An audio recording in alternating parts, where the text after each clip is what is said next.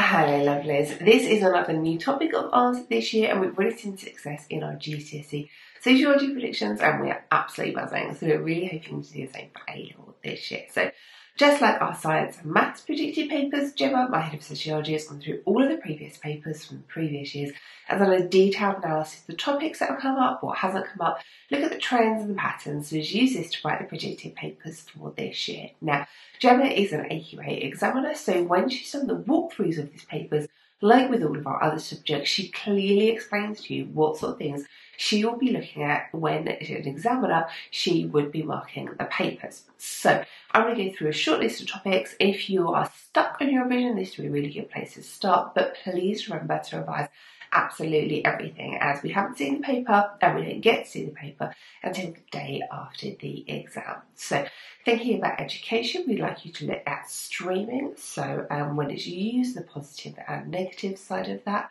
We'd like you to look at any education policies that are linked to marketisation we'd like you to look into the uh, functionalist view of education. So we need to know all the different views of it, so Marxist, feminist, and the functionalist view of this. Thinking about gender stereotypes within education, all of the different impacts that can have, and the studies.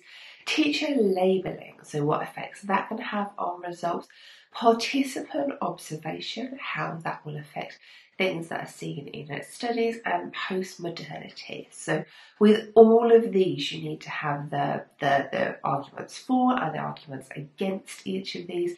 You need to be able to write balanced arguments and in sociology, you need to be able to show off to the examiners that you can use real life case studies in your exams. So good luck guys. Don't forget if you want all of the, the resources that we've done for you, they're waiting for you on the website.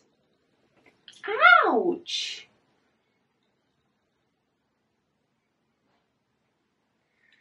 This is why in some videos I explain scratches.